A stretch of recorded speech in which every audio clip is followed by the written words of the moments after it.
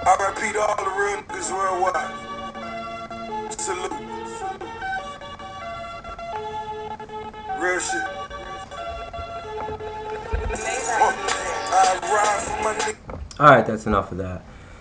Well, everyone, welcome back. Uh, tonight is technically week one, I guess, if you want to call it that, starting. I guess it's a week. Well, not really, more like four days or whatever.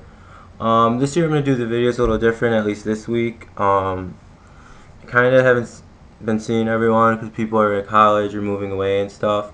So I wanted just to rip on everyone before the season starts, and then I'll make my picks at the end. um, this year I might do a theme every week, I think. This week's theme to kick off week one is loss. Right here, I have, oh, you can't really read, oh, you can read it now, is In Memoriam, which is an obituary to everyone in this league. And uh, I just wrote down, you know, a couple thoughts about everyone. And I promise not to be too mean, but I don't know, maybe come over and I will be. Um, so the theme is loss. You know, loss could be defined as a lot of things. Loss could be like losing a loved one, losing your keys, even just anything that you can't find or anything that used to be with you that has departed. I guess you could say. Um, loss could also be defined losing to the same person uh, two years in a row in fantasy football league. So I guess all of you guys are technically losers and have gone through some type of loss the past two years. Something that I myself haven't experienced to uh, recently, but I'll get to that later. I'll get myself, don't worry. Um, so, you know, I just wrote up a little obituary for you guys. Um, I don't know, let's start with Tom. Tom lost that weight challenge. He uh, pussed out on the last night at the draft. He would not weigh against me. I'm down to about 214 right now. He's at, I think last time I saw, about 217. So good for him. I weigh less than him. So I just wanted everyone to know that because I've lost more weight. And Tom technically lost the challenge. So I there's Tom's loss. You know, everyone has a little bit of it. Um, moving on to Steve. Steve, I really just lost his way. You know, he lost the um, championship last year, which you know he had to go into exile, so he lost his way to North Carolina, and is probably staying there the rest of his life. So he never has to confront me or look at me eye to eye again. Um, Tony, you know, everyone you know liked him and everything, but he lost that tooth at hockey. But he's look, been looking pretty good now, um, so that's good for him. Uh, Nick, you know I love you, but you know he lost two loves this year. He lost his Care Bear, aka the Mare Bear, after uh, he threw up at that preseason game on that little kid. She just cut the ties with him. And then surprisingly, I don't know why, I think he's still a free agent. I don't know if anyone, you know, picked him up, but he lost the Sanchez. So anyone wants to, you know, pick him up and maybe trade him for Brady, maybe Nick will take you up on that, or maybe Moss or something.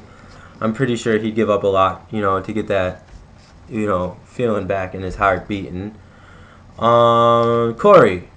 Corey lost his virginity this year. You know, good for him. It's about time. Everyone should be, or have already lost it for that matter. Um, he lost it to Coach Sandusky at that professional hockey slash skateboarding slash football league that he's a part of, um, making $35 million a year. Um, just being a professional hockey goaltender, uh, quarterback for the Bills slash Colts. He plays every week, once at once and once at one and once at four, and then that skateboarding career he started. So pretty interesting league. Wish I could do three professional sports at once, but I don't know. I just do me. Um, Danny unfortunately lost some hair and it's forced him looking into uh, more like Butters every day. Um, Greg unfortunately lost Alyssa at the Cove, and he still hasn't been able to find her. Um, from what I'm reading, I think she showed up at his house one day and told him to, and I quote, go play in traffic. Um, so I hope you look both ways before you cross the street, Greg. Uh, Mike lost any chance of winning this year, and me picking him to win in any of these videos by picking up Tyler Thigpen when at least six quarterbacks, including the Sanchez, are still available that are starters. Uh, I don't really know what he was trying to do unless he just wanted to donate 20 bucks to us. Um, Andy actually lost his home and was homeless for a little part of the past year, but he now is living in an apartment, so he's he lost his house, but he moved downsized to an apartment. Not bad idea. Um, Zach lost his heart after his first love dumped him. Um, him and Hunter seemed very happy together, but you know what they say about first loves. You always think it's going to be the one till you find the one. And um, if this hasn't happened, Zach, yeah, just play it like, I don't know, a little after you start college or something. Trust me, it will eventually happen. Um, Brian lost my eyes that night in like May or June after Lux when I drove into his driveway and saw him fucking Anna. Um, yeah, I haven't been able to find my vision yet. That's why I'm having a hard time reading the sheet, and I really it's hard for me to look at them the same way. Um, I guess that's everyone, really. Yeah, that's everyone. Except me, and, and I'm going to be honest, I have lost something in this past year, and then I'll get to the picks. I did lose Tom, who left me.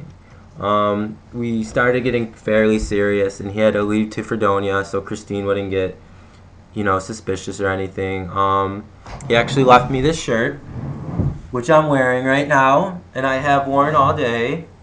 Um, sorry. And I will continue to wear every day till he gets back. Um, I miss him very much, and Tom, baby, I wish you were here right now. So I guess this brings it to the picks. All right. In Trent we trust and Sean Man Beavers. Um, I'm gonna go with myself because I'm greedy. Kylan's Believers and Buffalo Snipers. This is probably I don't know. In years past, I think it'd be closer, but I think Andy will win.